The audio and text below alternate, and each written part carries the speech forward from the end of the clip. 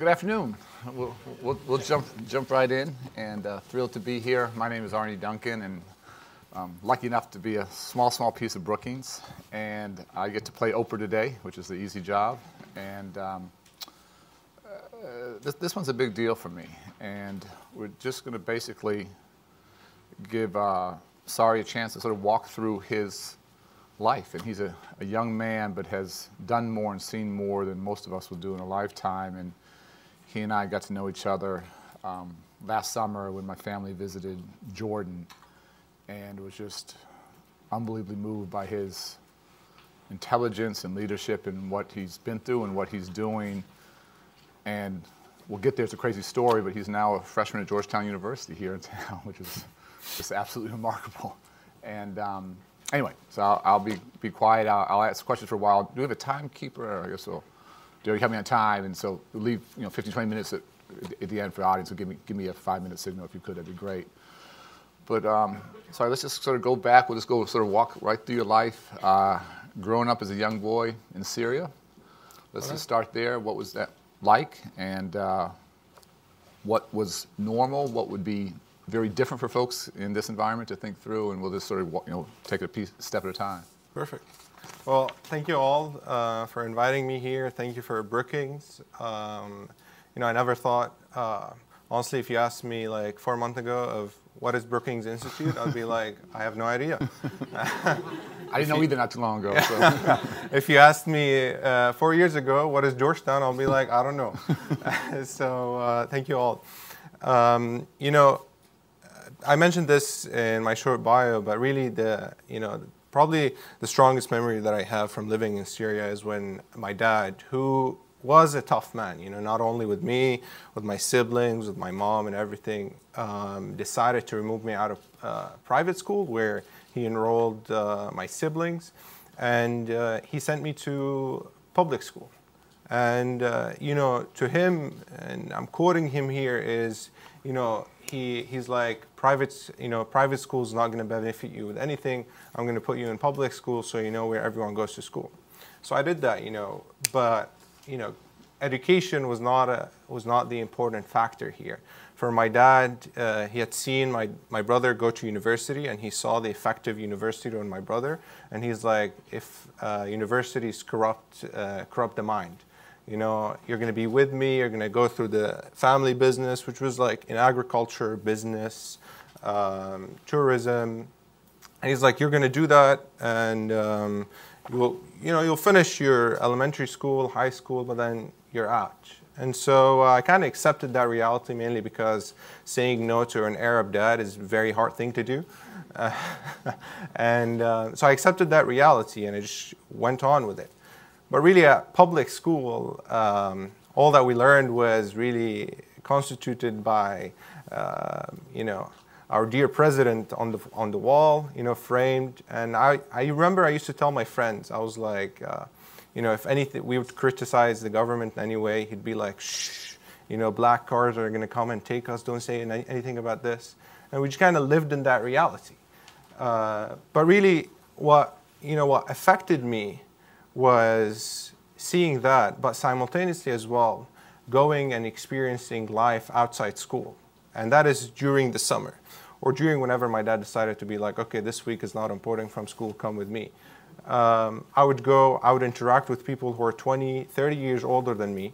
I mean, um, it's kind of crazy that by the, by the age, by when I was 10 years old, I was, you know, stuffing pillows under me and driving a car. You know, uh, at 12, um, I was arrested for driving because I was 12. You know, you're not supposed to be driving when you're 12. but, um, you know, given how the situation is, um, I was able to go. I was able, they let me out of, you know, uh, the station. Um, I worked with people. I had a team that I was running responsible for at the age of 13. And, uh, you know, going back to school, I would tell my friend these things, these things and they wouldn't believe it.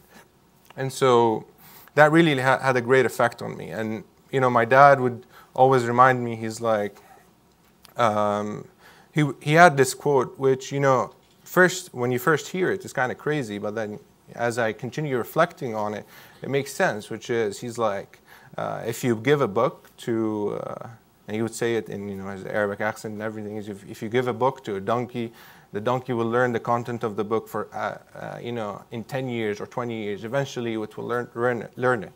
But if you throw a donkey in life, the donkey won't know to do anything. And he's like, I want I want you to be someone who can maneuver through life.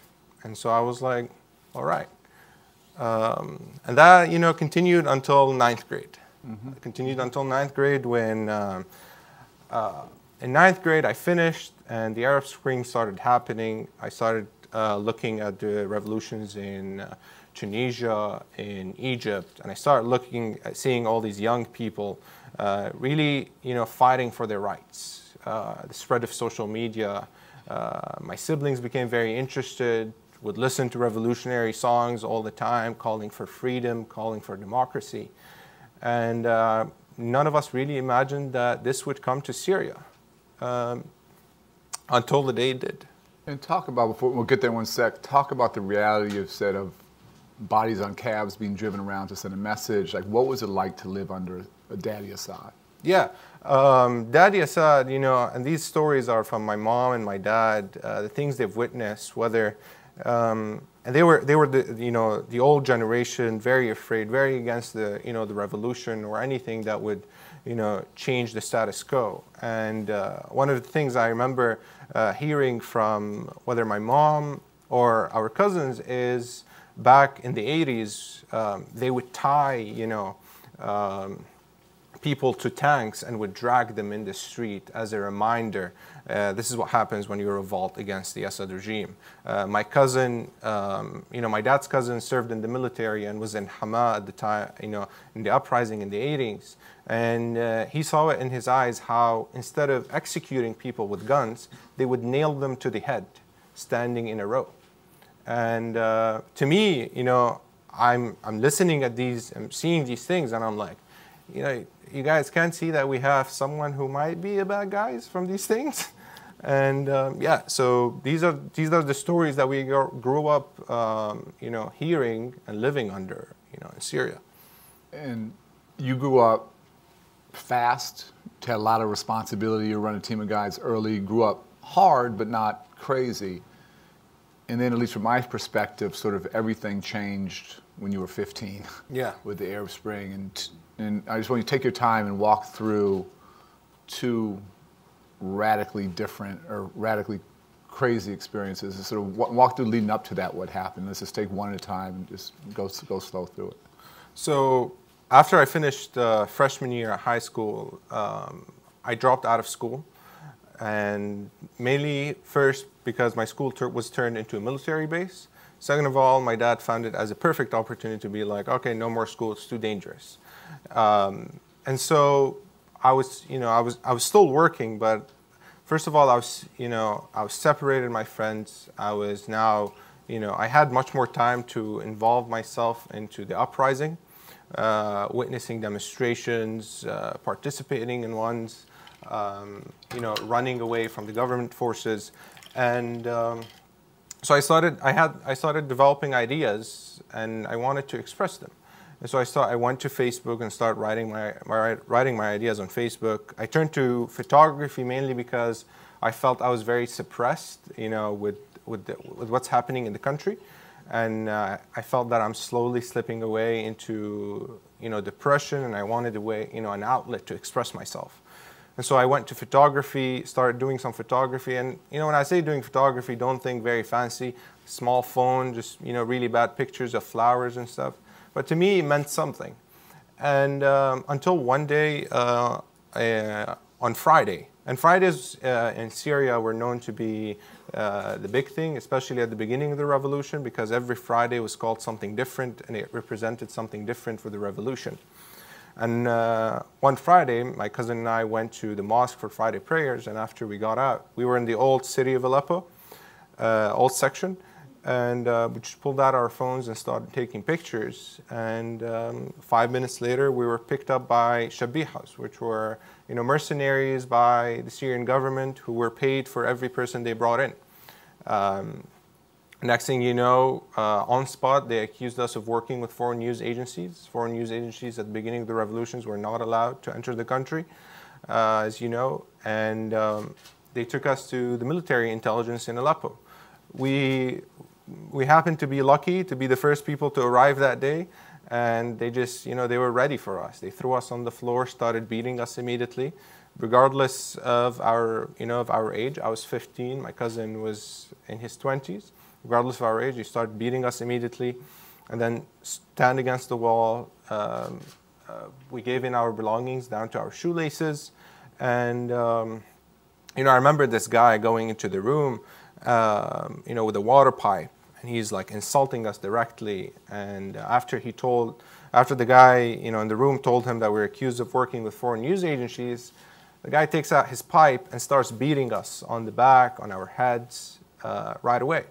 And so I knew that at the time, you know, it's a matter of life or death. So I extend my hand to my cousin standing to my left, and I grab it, and I'm like, um, "It was great meeting you. We're probably going to die soon, or never be let out of this place." Because I had friends, I knew people who were captured by the Syrian regime, captured by the Syrian intelligence, and did not return.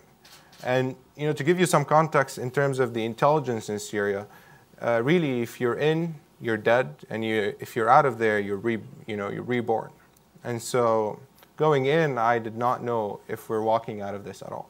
And it was important to me to make peace with myself, with my cousin, and to really end this the right way.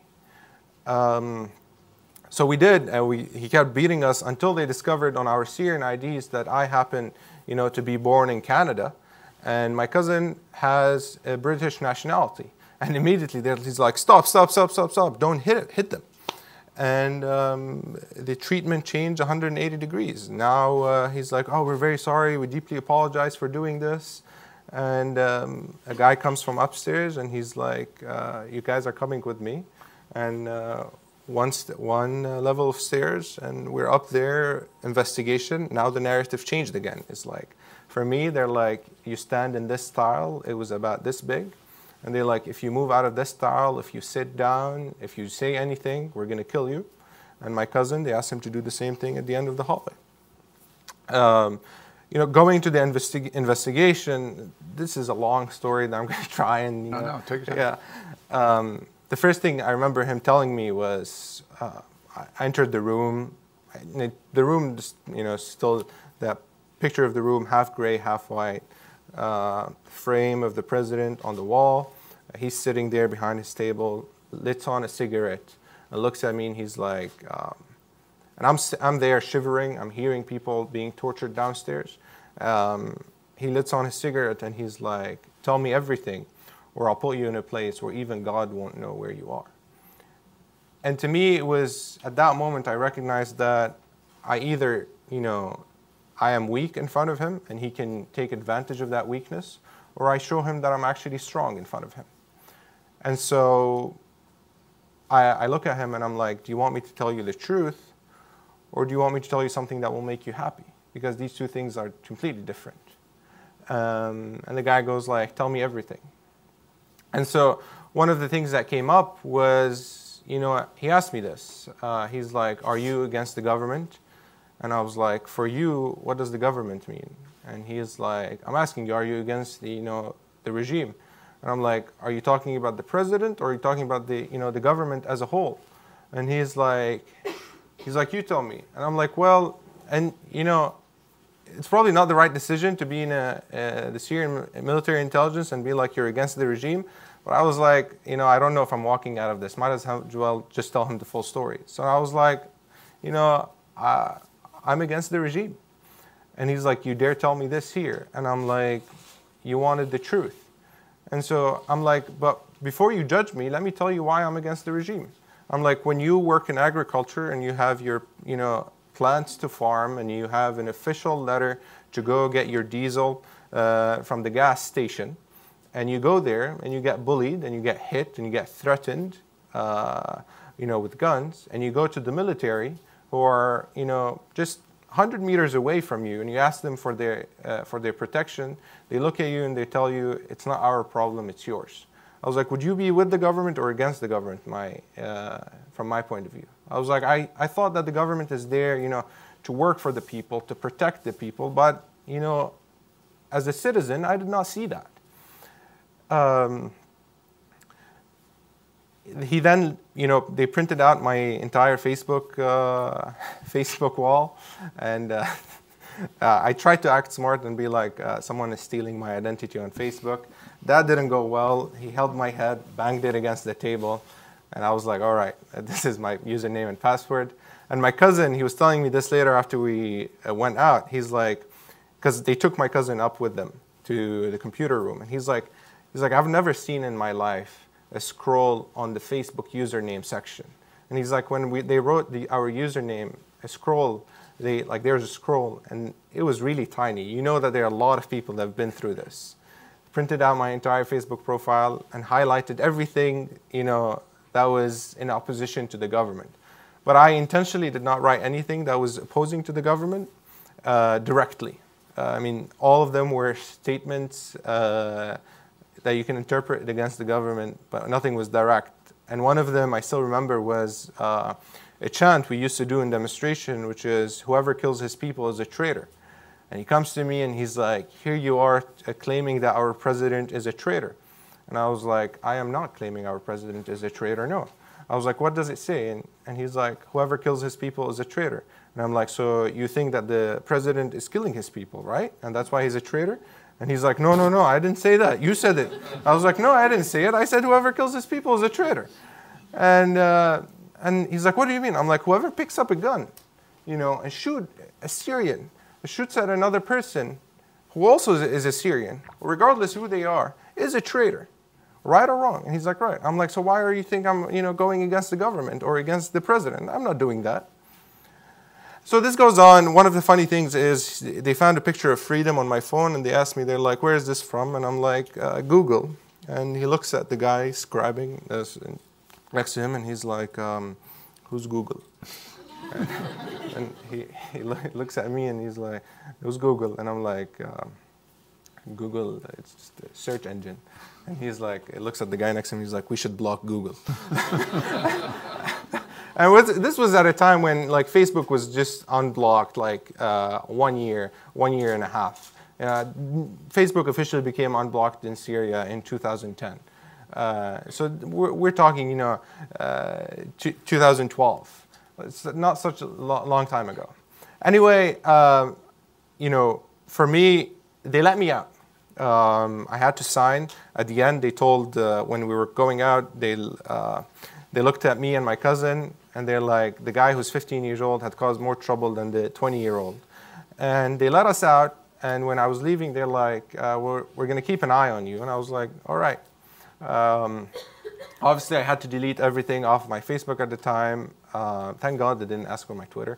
Uh, that would have been a disaster. and uh, I went out. And the reason why I went out is because of being born in Canada, you know, because having that privilege. And walking out of that place, I was like, all right, I had the privilege of being born in Canada and being let out of the Syrian intelligence, but what about the thousands of others who are who were detained and are still detained in the intelligence right now, who don't have foreign nationalities that can save them? And to me, that was, you know, a reminder that I survived this and there's a reason behind it. But then not long, not long afterwards, a month later, uh, I was kidnapped by the Free Syrian Army. Um, my dad wakes me up in the morning. He's like, we're going to our farm outside Aleppo, uh, like 100 kilometers. And he's like, you're coming with me. And I'm like, all right. Uh, we go there, uh, middle, of the, middle of the day.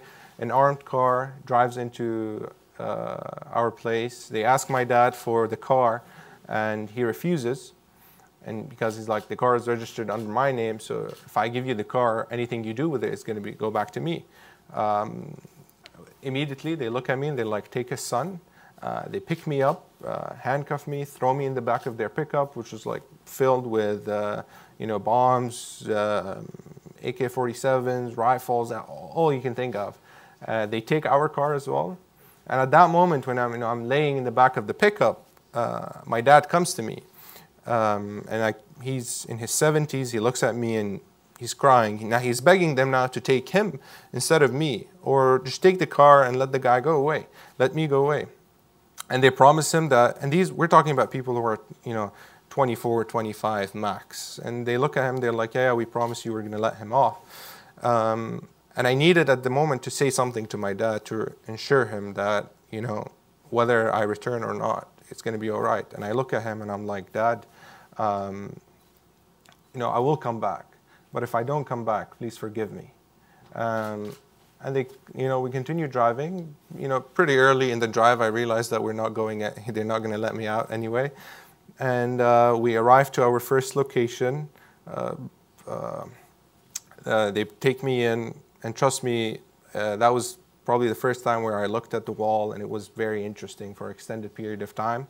And a guy comes in, you know, very tall, uh, orange shirt, black pants, heavily bearded, bald sits next to me. He looks at me and he's like, uh, "We kidnapped you." And I honestly start laughing, and I'm like, "Yes, I know you kidnapped me." and, he's like, "We kidnapped you, and we're going to ask your parents for two million dollars. Your dad works with the Syrian government. He supports them with uh, with guns. Uh, appears on national TV occasionally, which was all wrong." And they're like, um, two million dollars. You're not walking out of here without it, or you're going back home in a plastic bag. And so I'm like, uh, you're probably going to have to kill me pretty early because there's no way they're going to be able to provide you with $2 million. Uh, and he leaves. And the guy standing at the door, guarding the door, comes in afterwards and he's like, Are you crazy, Saria? And I'm like, uh, No, not really. Why? And he's like, The guy you just sat with beheaded nine people, and you were going to be number 10. Uh, and you were there laughing. And I'm like, yes, he beheaded nine people, but I still don't see, you know, why I should be that afraid of him uh, and telling him what I really think. Um, you know, the first the first few days, I got to know the people who are responsible for me for, um, and for me, I would always ask them questions. You know, uh, they got annoyed to a point where how much questions I asked about themselves, about what they used to do. Uh, one of them used to go to university. Uh, another was uh, a defect of the Syrian military. And these two, they, they're really interesting stories for me, and they stuck with me because one of them was a university students. And I asked him, why did you join? And he's like, um, you know, I, I used to go on demonstrations uh, with a peaceful, you know, resistance and everything. But when I, when I was standing there and I, you know, I held one of my friends dying between my arms after he was shot by the regime, I, I was fed up with this. And I wanted to pick up the guns and I wanted to shoot back. Uh, the guy who was a defect from the military, I asked him, why, uh, why did you join the Free Syrian Army? Um, and he's like, I was work, I was in Homs, stationed in Homs, and they asked me to, to, I was a sniper, and they asked me to position myself on top of one of the buildings and shoot whoever uh, was going, whoever is walking um, a man, a child, a woman, a pregnant, uh, a pregnant lady, no matter who it is, you shoot them. And he's like, I could not do that, but I joined them. And he's like, they're like, uh, please understand that while we're here and while we're part of the Free Syrian Army, we are still soldiers being given uh, given orders. And to me, that was eye-opening because, uh, especially now, you see, um, you know, whether uh, while the Syrian regime talks about the Free Syrian Army, while the Free Syrian Army talks about this, you know, especially when it comes down to the soldiers, at the end of the day, they're people given orders. And to me, it was important to see the humanity of these people and to really understand what they wanted. And when I asked them, what do you want, guys? And they're like, for this to end, for us to go back, open a small house, get married, have children, and that's it. And, uh, you know, we, we would joke about this while, when I was kidnapped, but they were like, you know, Saria, your dad are going to give us so much money. We're probably going to take part of that money and get married with it. and I was like, please invite me to that wedding when you get, you know, get married, if, if I go out. Um, you know, but, you know, the crazy, the crazy things that happened uh, was, for example, one night when, so one of them was called Rad, and that translates literally into twilight. And the guy asked me if I if I would take him as a brother. And you know, it's crazy to take someone who just kidnapped you as a brother, uh, and I was aware of that. But I was so vulnerable that I wanted someone, uh, and I, I, I accepted him as a brother. And one day, I was by myself in the room. He walks into the room, uh, has a rifle with him, sits down next to me, and he's like, "Have you ever held a rifle before?" And I was like, "You know, fortunately not." And he's like, well, I'm going to teach you how to put a rifle apart today. I'm going to shoot, teach you how to shoot. And I was like, okay. So uh, he teaches me how to put the rifle apart, how to hold it, and now the rifle's in my hand. And he's sitting next to me. Um, he's unarmed, and in this situation, the you know the shift of power is with the person who's you know uh, kidnapped, and the kidnapper is there unarmed. And I hold that AK-47 and I throw it back at him, and he looks at me and he's like, "What did you do?" And I'm like, "This is the thing that ruined our revolution." And I was like, "This is not what I stand for." I was like, "If we're gonna hold uh, the revolution that we've you know wanted from the beginning. This is not the one. Uh, not we don't fight it with guns. I was like, it's not necessarily that I want to kill everyone who has a different opinion than I do. I was like, I'll sit, I'll listen, regardless of what your perspective is. I will listen. To, I will listen to you. And he's like, who taught you this? I was like, no one. It's part of being human. And uh, it turns out that it was a trick. They wanted to test me if you know. They wanted to test. Uh, uh test me. And uh, before entering the room, he took out the pin of the rifle, which is the most important part of the rifle that shoots the bullet out. And he's like, if you had done anything, people were standing outside ready to shoot you, I would have taken you out immediately. Um, and uh, one of another incident was perhaps when um, uh, one of them came at night. Very, uh, uh he was very angry uh, we what happened at the night is that there was a lot of shelling in the area, and they attributed that shelling and that fight that my dad had sent the military, you know, to save me. And I was like, Jesus Christ! I was like, guys, he did not do that. And um, a guy comes at night, you know, 2 a.m. in the morning, going crazy, and he's like, it's all because of you. It's all because of your father. He sent the military. We lost a lot of good men, and he asked me to sit in the corner, brought a flashlight, and lit it in my face until uh, the sun rose. I was practically blind by the time we finished. And then he sat me down and he's like, Saria, you know I'm a heavy smoker. He pulls out two cigarettes, places them next to each other, and he's like, if you pick this one, uh, we will reinvestigate your story. But if it turns out that whatever we have against you is right, we will not kill you first, but kill your family, your friends, everyone you love in front of you, and then kill you. If you pick the other one, um, you confess, we let you out, we go get your father, and we bring him. And for me, I knew that um, I can't pick any of these two. And so for the next three hours or so, I looked at him and I was like, whatever you have against me is wrong. And the guy goes crazy, lifts me up from my hair. Uh, that's probably, I lost some hair here.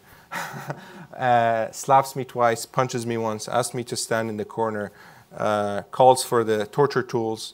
And that was an ironic moment where the torture tools arrived and breakfast arrived with the torture tools as well. One guy brought breakfast and the other brought torture tools. Um, both different guys and looking at each other. The guy who brought the breakfast goes in, looks at the guy who's ready to torture me, and he's like, What are you doing to Abu? They gave me a title Abu which is father of Sus. And um, he's like, I'm going to torture him. And he's like, No, you can't do that. You can't, you know, uh, this is not how we do it. And so uh, they send the torture tools away. We sit down, uh, they put the breakfast down on the floor, and uh, the two guys sit down, and the guy who's going to torture me, and I'm still standing in the corner. And he's like, um, the two guys ask me to come and join them for breakfast, but I don't respond until the guy who, asks, who was just going to torture me asks me to come and join him. And so I do. I go, I sit next to him, um, and as I'm about to sip my tea, he holds my hand and he's like, slap me. And I was, I take it back, and I was like, no, I'm not going to do it. Uh, and his face, I remember, turns uh, turns red, probably as red as my face right now. Um, turns red, and the other guys look at him, and he's like, "Sorry, uh, I tortured you all night. Please slap me so I can forgive myself." And I was like, "I'm not going to slap you." So I, you know, I was like, "I forgive you. That's it." And afterwards, this guy, you know, became my other best friend there. And one day I woke up in the morning, he's wearing my shoes, jumping right, left, and center. He's like, these shoes are so comfortable. Can I take them for the day? And I was like, yes, sure, take them for the day. Leave me something to, uh, uh, you know, to wear. But the next two incidents were really the ones that really opened my eyes. And please, here, uh, I don't want you to think that I was the, you know, the heroic person uh, going against them with all my strength all the time because at night, every day, I would sit and I would cry in the corner when everyone would be asleep. And I would pray to God. And I would, be, I would, be, I would say, please God, if this is uh, my time, let it be honorable. If not, give me the strength to fight against these people. And I understood. And kind of what gave me strength is that if I die in their hand, it will be such a strong message to show how the people who took an oath to protect the people have killed one of the people. And to me, that was an, a, a good enough cause to die for. And so one day, you know, when their general comes in the room, pretty angry, um, sits me down on my knees, um, my hands were free behind my back, uh, my eyes were blindfolded, takes out his gun and puts it right on my head. And he's like, Are you going to confess or not? We're wasting time on you. And I was like, I've told you everything. Whatever you have against me is wrong. And he's like, All right. And uh, at the at the time, I knew that I had to do something. You know, this is going to be so quick. Whether I'm going like it's a 50-50 percent chance. And so I take out my gun. I take out my hand and I place it on his gun. And I'm like, shoot. And he's like, what? And I'm like, shoot. I'm like, if this bullet is meant to kill me, it will. But if not, I dare you to shoot. And uh, thankfully, he did not shoot. The guy takes out, you know, his gun, walks out of the room, and um, the guy, the four guys that they're protecting me, they look at me and they're like, "We kidnap people who are 30 and 40 years old, and they're there, you know, begging, uh, begging, uh, begging us to not to kill them. And here you are, 15 year old, not giving a damn about life." And I told them the reason why I thought my death would be honorable if I died. But really, the second time was the one that stuck with me the most, which is when they brought me a guy, old guy, sat down in front of me and started reciting verses from the Quran, cherry picked to whoever he wanted. Uh, he sits in front of me, and I'm like, I'm going to respect you mainly because you're an old man, but whatever you're saying and the verses you're reciting are completely out of context, completely wrong. And saying that to an old guy who's completely an extremist sets him crazy. The guy stands up and he's like, chop his right arm and his left leg. And he walks out of the room and he's like, I want them in plastic bag and we're going to send them to his family. Um, the guys are like, sorry, please tell them what they want. We don't want to do this to you. And I'm like, I will not. If you know this is meant to happen, it will. And this ideology of if something's meant to happen to me, good or bad, I really picked it up from my dad. Um, he, you know, two things that he taught me: never harm anyone, um, and always believe that if anything's going to happen, uh, it will happen for a reason. And I took that, and that's why you know when I first came out of being kidnapped, I called him and I'm and he's like, How are you? And I'm like, I'm good. And he's like, What happened? And I'm like, I, I applied everything you taught me. Um, but yeah, and uh, funny enough, when I was leaving, um, and you know, the negotiations between uh, the kidnappers and my brother, because my brother held the negotiations, were all recorded because my brother downloaded an app, so they were like part of uh, a short documentary that we did. Um, uh, but what happened is when I was leaving, you know, my brother comes to the pickup uh, point, and I, you know, go see him. I give him a hug, and I look at him, and he's like in a moment of shock. And I turn around, and there are like these 20 guys standing saluting me. And I was like, uh, what is happening? And they're like, you have proven to be uh, stronger and more courageous than we can ever be and um, they're like, we'd like to offer you a job to work with us. You never have to go into battle. You can order your office online for some weird reason. I found that weird. You can get you a car and you can start working with us. And I'm like, uh, no, thank you. I really want to go back, you know, to school. Uh, and um, I gave them my number. I gave them my house number, and they did call. And my mom picked up the phone. She's, and they're like, oh, hi, where's Abu Sus? You know, we're looking for him uh, with his friends. We're in Aleppo now. Tell him we say hi. And um, I unfortunately wasn't there to pick up the phone, but I go into the room and my mom's like, there's this guy called Rad and this guy called Khal. They're like, you know, your friends. She's like, sorry, uh, who are these people? And I was like, oh, those are my kidnappers. Uh, what, what, what, happened? And she's like, she sat down. She's like, oh my God. Um, we didn't pay $2 million.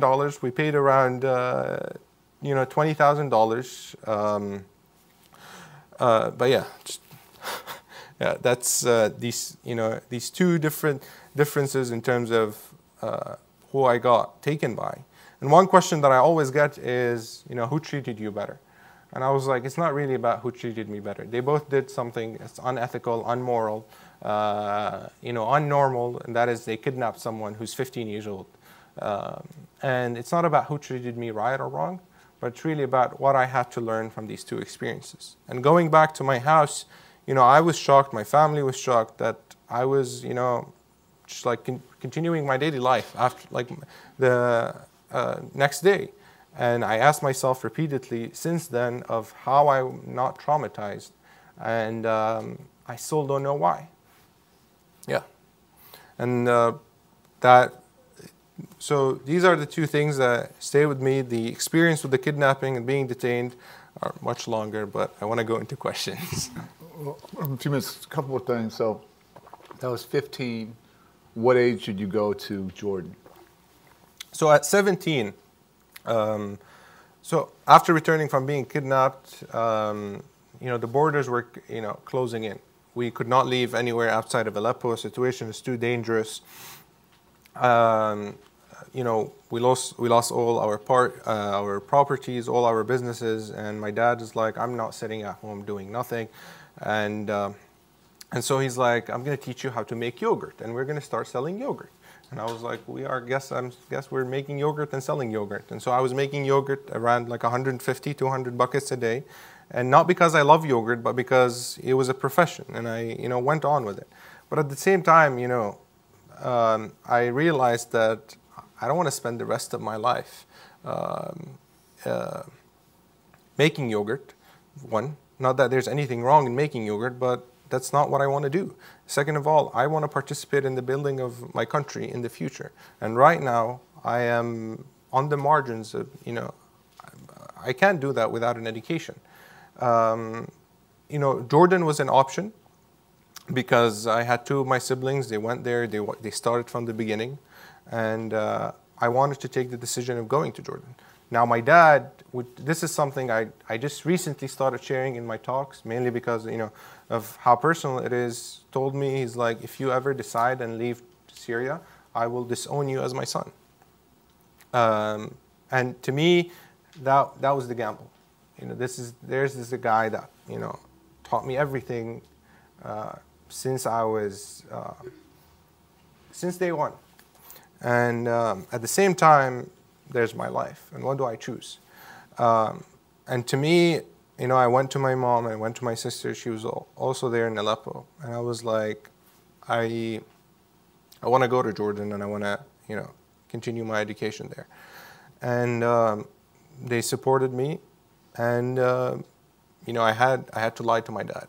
I, I told him, you know, he, things, you know, we fixed things. We became friends afterwards, and he passed away. And luckily, I was there for him.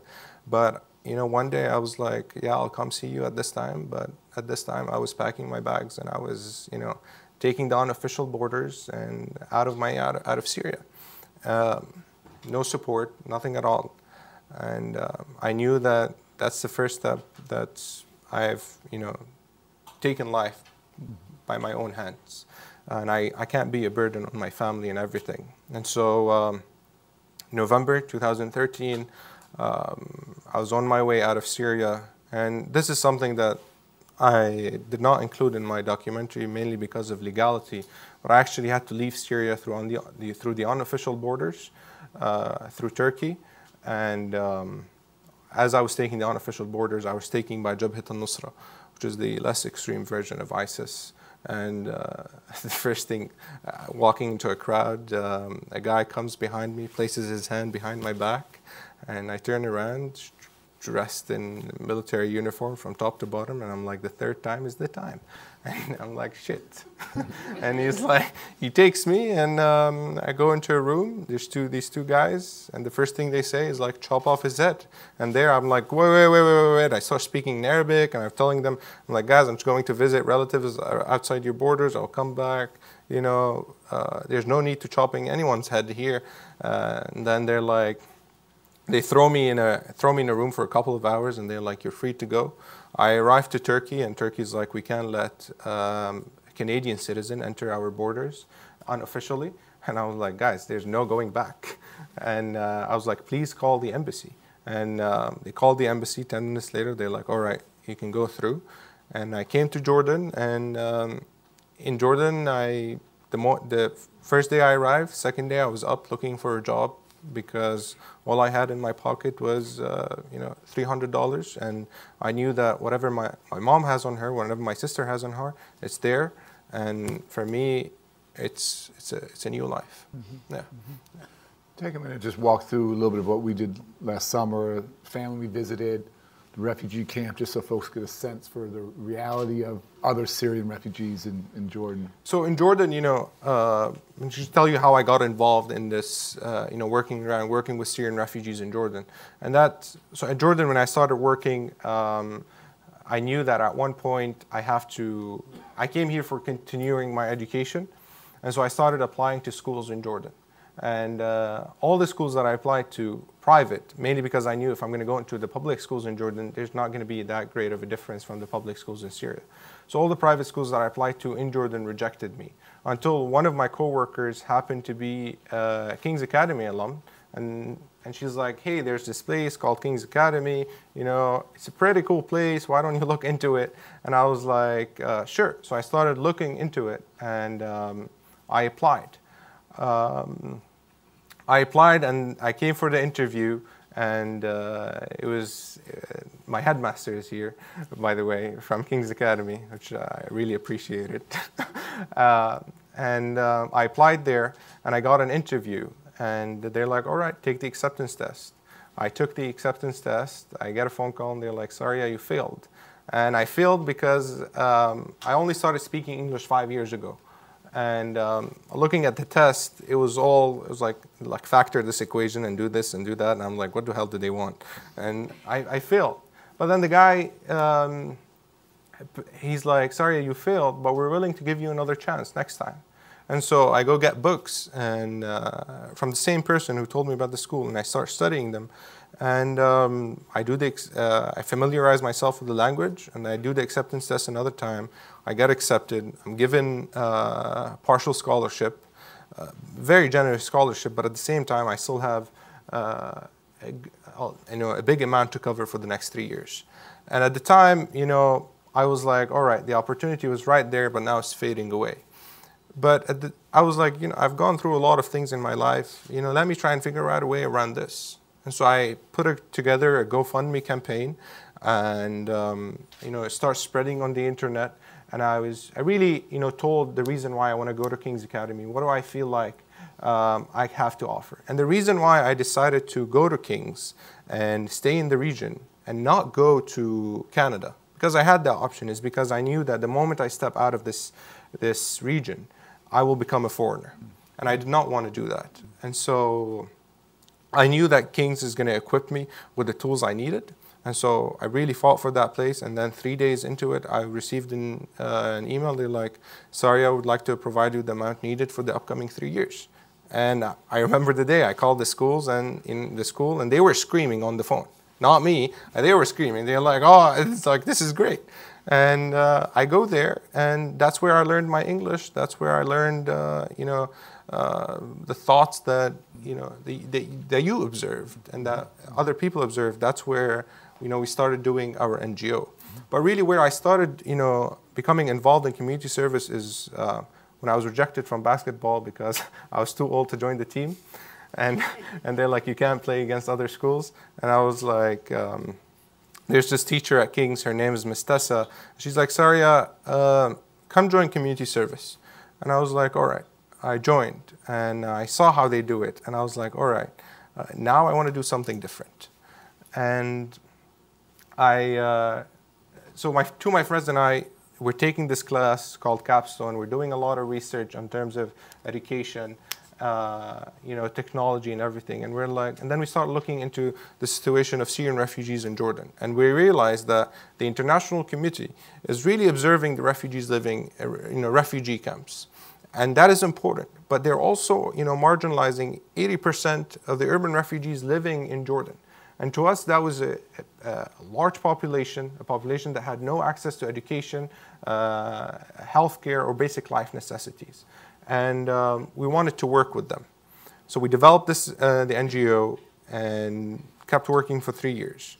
But then when, you know, when you came at the time, I was what I was working on is this is the summer before coming to Georgetown, is I wanted to really document the lives of urban refugees in Jordan, to go through the struggles they're living through.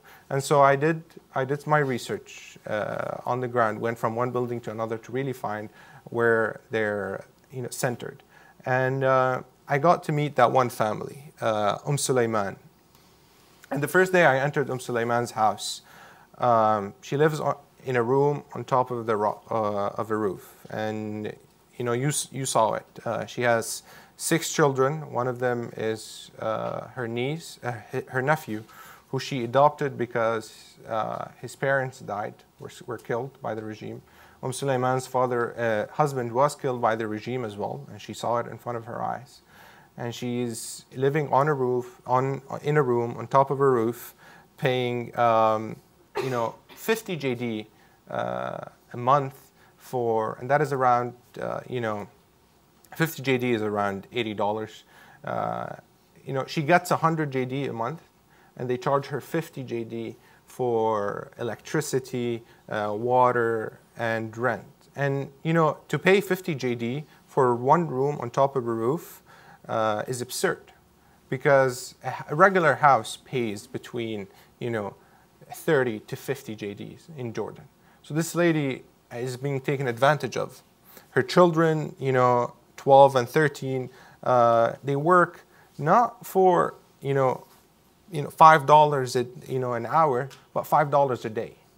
And a day, and you saw when you know uh, we were sitting there, and their, her children were like, um, you know, it's time for us to go to work, and um, it, it didn't only hit me, but you know, I think sitting there, you know, 13 and 12 going to work at 6 p.m. at night because they're afraid they might lose their job and they have no income to support their family.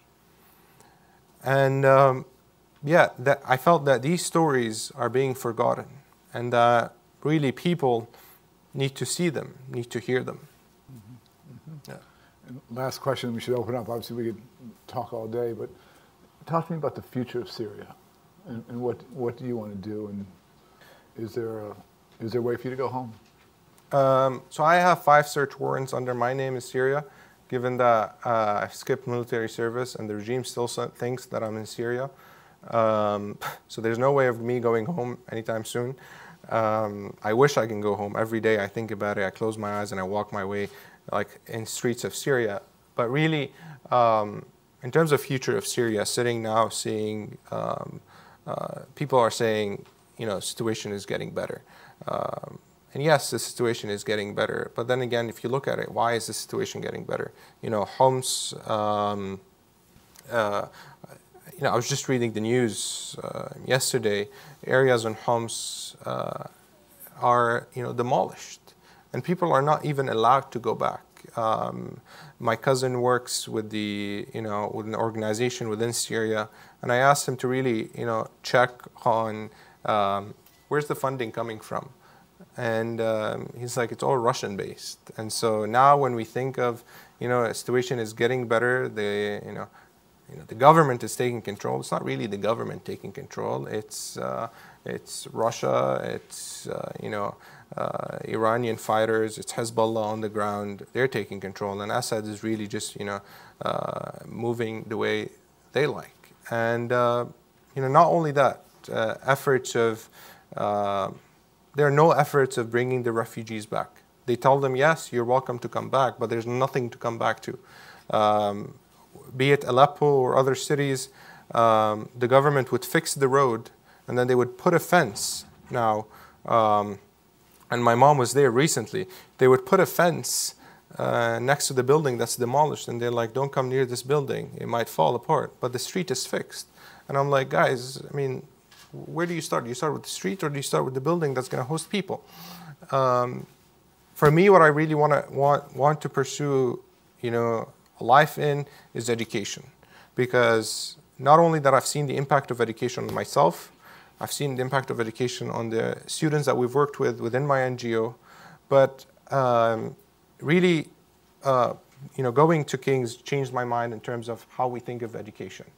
Uh, I didn't I didn't want to go and receive an education where I have a degree, I put it on my wall and be like, hey, got a degree and I'm going to work in this. For me, I wanted to see different perspectives. Uh, I wanted to broaden my horizon. I wanted to understand, and that's mainly why we started this NGO, taking the skills that we learn in class, not necessarily the content, and giving it to students who have no access to it.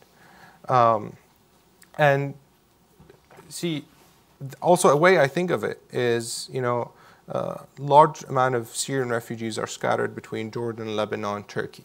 Um, in Jordan, they recently allowed Syrian refugees to be integrated into public, public school, but there's still a lot of work that goes into that in terms of who's teaching them, the timings, uh, the situation. You saw, you know, when you spoke with that uh, girl, the amount of racism they're receiving for being Syrian and being taught, you know, in one school. And we're not saying that they're all receiving racism, but there's still a long way to go. But the way I think about it is, you know, 10, 15 years down the line, and you know, the average amount of years a refugee spends in a country is over 10 years. Uh, 10, uh, 15 years down the line, these refugees are going to be looked at.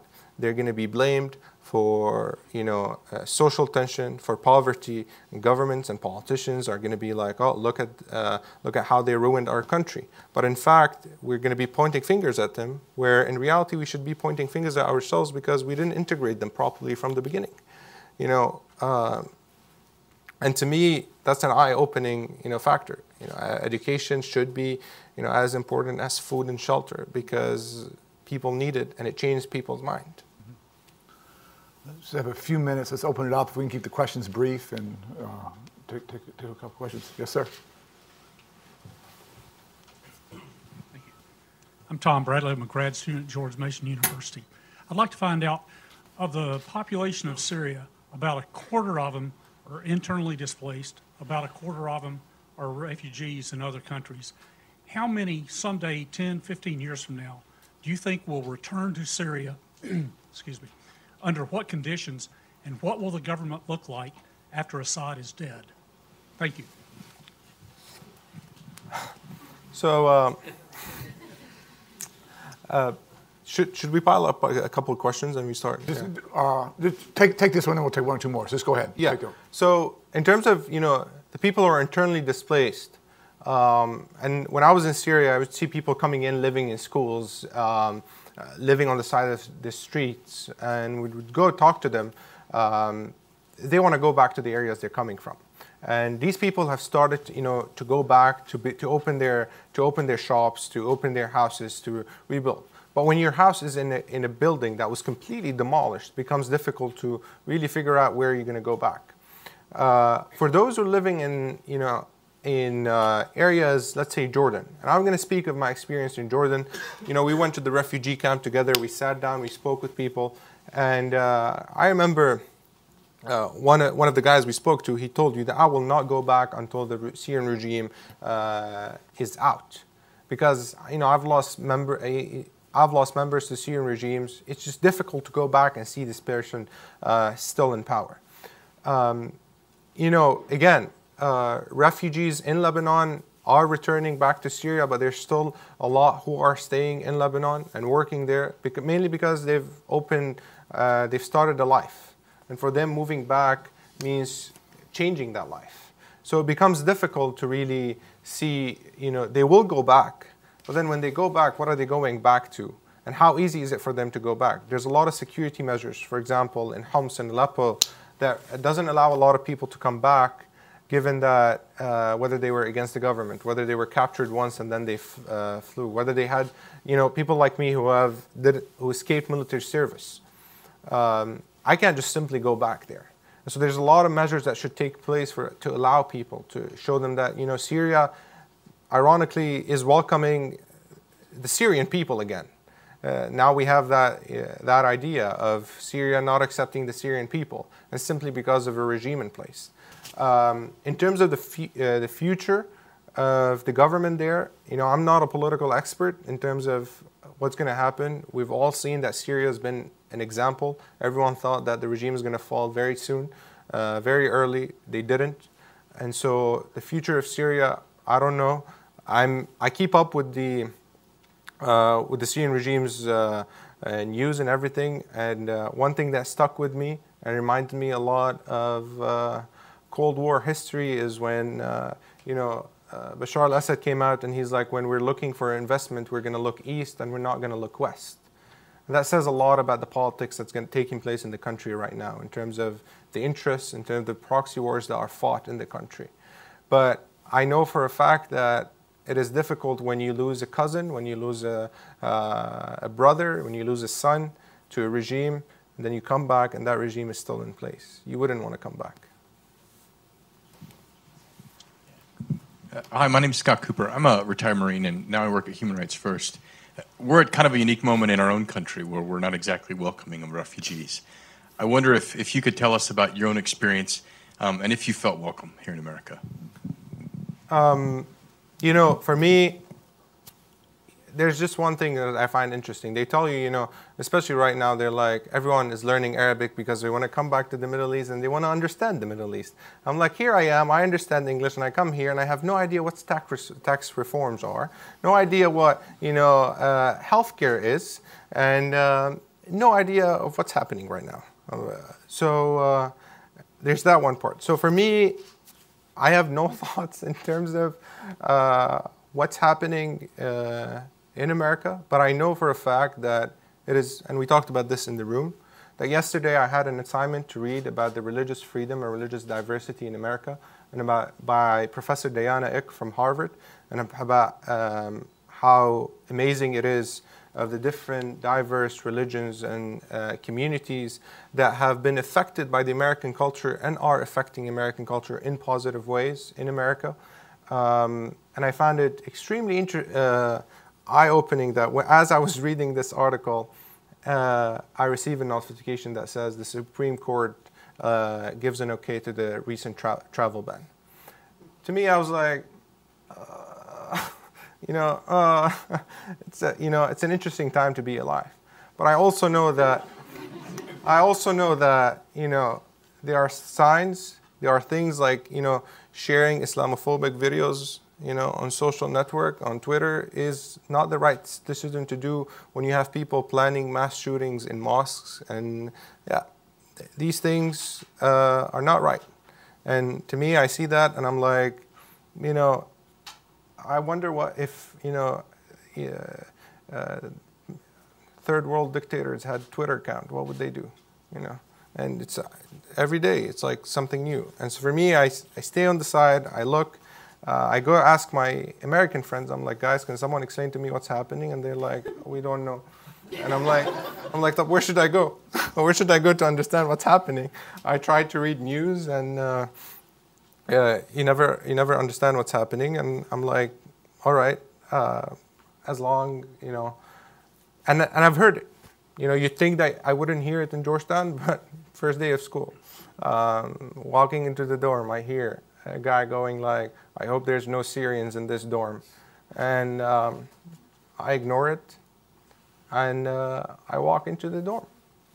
It's, uh, but I know for a fact that if he came to me and he knew that I was Syrian, I would sit him down, even though if he's told me I'm a terrorist, even if he told me, uh, you know, um, anything he wants to say, I knew, I know that I would sit with him and I would show him that I am not a terrorist. Um, that you know, Islam is not really about chopping off heads and killing people. And uh, you know, we really have uh, a rich history that is, you know, being ignored. Uh, one, two, and we'll probably have to close it then. So, yeah. final two questions. Um, hi, I'm Micah. Um, where do you think the extremism comes from? Uh, extreme ideologies. You talked about the old man who is an extremist. Where do you think the source of that is? You know, should we take the other question? Take, so sure, take, take, take one too. So So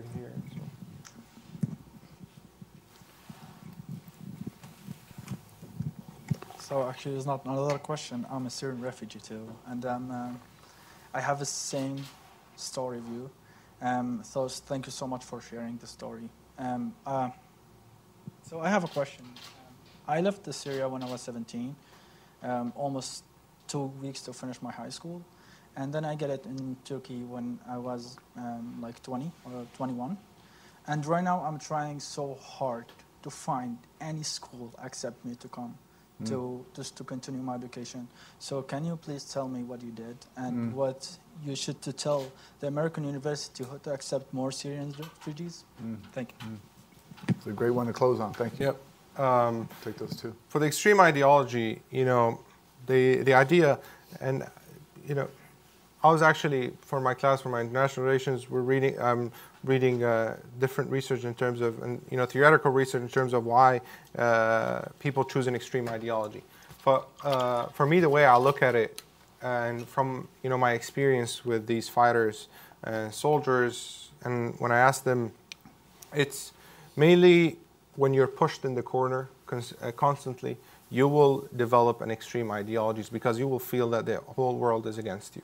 Uh, one of my friends, um, she recently published a book. She was the journalist that uncovered the identity of Jihadi John. Had gone to, you know, spoke with ISIS militants, spoke with ISIS uh, leaders, um, and uh, you know she would go whether it's Taliban, whether it's ISIS, and she would ask the militants. She's like, "Why did you decide to join us?" And they would talk about how they grew up in Europe and they were marginalized by their com- uh, by community. They had no one to belong to, and when these people came and offered something, it's um, a sense of belonging, and um, it creates that.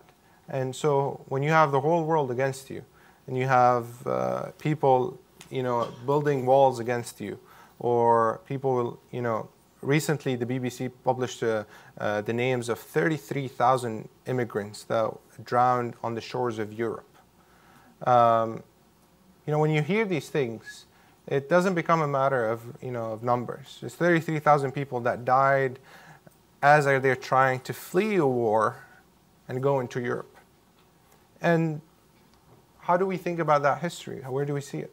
And because that can be interpreted as a, as a reason why someone would turn and become an you know an extremist. Um, in terms in terms of what's it called? Uh, the other question, you know, as I was applying to universities in the U.S., I had to withdraw my application from two universities. One of them was around the corner, uh, mainly because I didn't have thirty thousand dollars in my bank account. The the two of them, yeah, I had to withdraw my application because I didn't have thirty thousand dollars in my bank account, even though I have shown that I am applying for financial aid. But you know, Georgetown was willing to sit down um, and actually go through the process, and that's why I decided, you know, joining them. Um, I got, you know, I got rejected from all the other schools that I applied to in the U.S. as well, and uh, whether it's because they were afraid of matters of, you know, uh, immigration or anything, but that happened. And I think, um, you know, recently I saw uh, President President Obama's um, message to a, trans, a transgender uh, woman in India, where he told her, you know, it's about knowing, it's about standing up, speaking, it's about formulating your story to create action. And uh, part of the reason why I decided to share my story is because I wanted to put a face to Syrian refugees. I wanted to show the world that if I was happened to be fortunate enough to, you know, uh, survive the incidents that I've gone through, others in the thousands have not.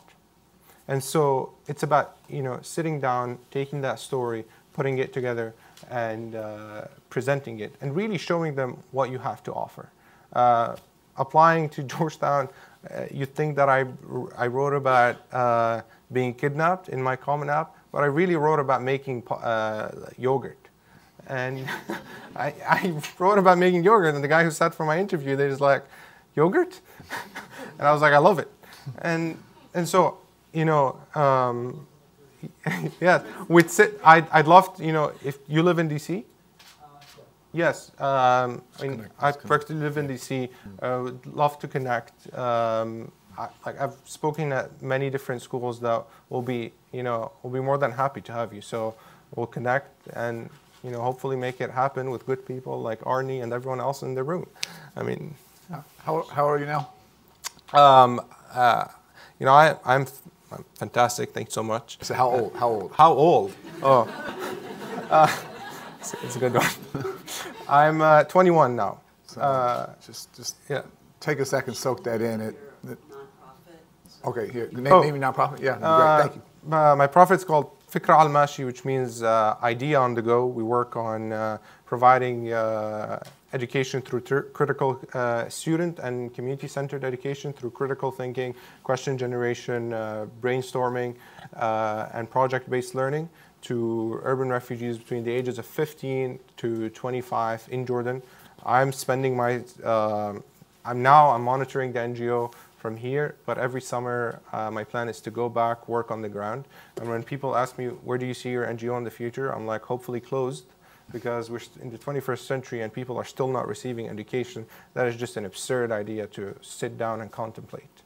Um, yeah, uh, I'm 21 year old, 21 years old, and uh, when my RA at Georgetown heard that he's a he's receiving a 21 year old in his hallway, he was really worried that I might be causing him trouble, but it turns out to be otherwise. Yeah. So I, I'm lucky enough to know lots of young people all over the country and remarkable people, but I don't say this lightly. I don't know a 20 year old, 21 year old as smart, as intelligent, as courageous, um, as humble, and as human as Saria. So please give him a huge round of applause. Thank you.